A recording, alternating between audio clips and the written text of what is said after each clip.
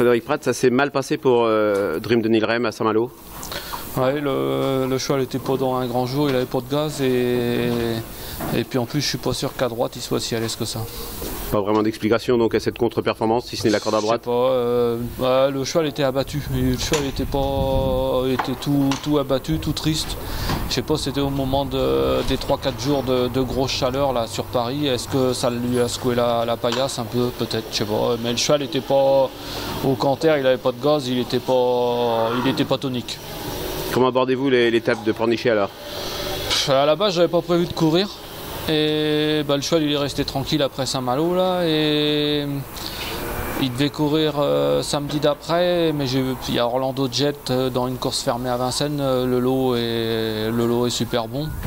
Et puis Pornichet, corde à gauche, je pense que il devrait, il devrait pas mal se, plaire. Il y a, il qui, est- qui est à 25 mètres. Mais bon, pour les places, je pense que c'est envisageable. Oui, vous n'êtes pas du genre à effectuer un si long déplacement sans, sans ambition. Ouais, enfin, on en a déjà effectué pour moins, et puis on est revenu bredouille, donc euh, on va pas, va pas s'arrêter là. Mais non, je pense que pour les places, euh, en partant en tête, c'est possible. Oui, parce que c'est le Dream de Nilrem qu'on avait vu auparavant, hein, comme euh, lorsqu'il était troisième à Anguin, troisième à Ouais, Vincennes. voilà. Hum, hum. Euh, la, la seule mauvaise course qu'il ait fait, c'est Saint-Malo, là où pas, il avait pas de. Et puis en plus, euh, à- à- je- il a déjà bien couru à droite, mais j'ai l'impression qu'il est pas trop à l'aise là en- pour, en- pour finir. Donc on efface totalement et on le retient. Ah, je pense que euh, pour une place, oui, ouais, maintenant, euh, maintenant c'est Spornichet, c'est spécial. hein. C'est un tourniquet euh, en partant devant.